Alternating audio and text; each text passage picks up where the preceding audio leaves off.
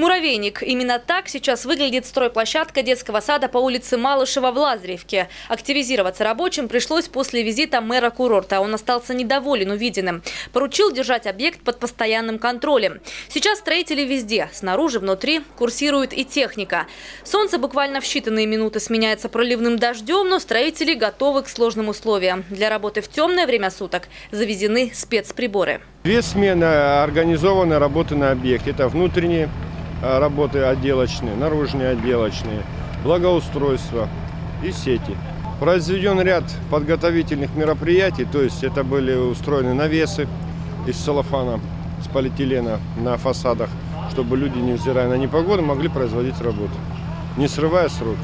Сейчас на объекте трудится более 200 человек. Работу ведут, что называется, по всем фронтам окончание строительства этого детского сада, он для нас, для района очень важен, это детский сад. И мэр поставил задачу к 1 декабря сдать в эксплуатацию этот детский сад, что мы и сделаем. Кровля у нас готова всех корпусов.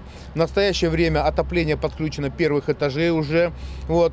Э, буквально несколько дней мы закончим штукатурку всех практически помещений. Буквально сегодня запустили тепло. Подавать его будут от котельной, которую построили для спортивного комплекса, расположенного напротив. На сегодняшний день уже подали тепло на первый этаж и частично на второй. Наш руководитель принял решение, что в связи с тем, что были некоторые упущения по увеличению мощности существующей котельной, это котельная обеспечивает спортивный комплекс, отдельно стоящая, в том числе будет обеспечивать детский садик.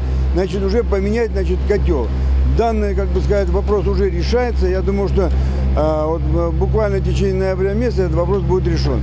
Отделочные работы тоже идут довольно динамично. В ближайшее время будут завозить мебель. Строители сбавлять темпы не намерены, а значит шансы, что стройку завершат к Новому году, достаточно высоки.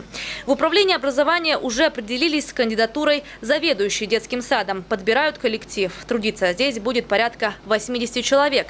Открытие дошкольного учреждения с нетерпением ждут родители более 400 детей. Ольга Десятого, телекомпания «ФКТ».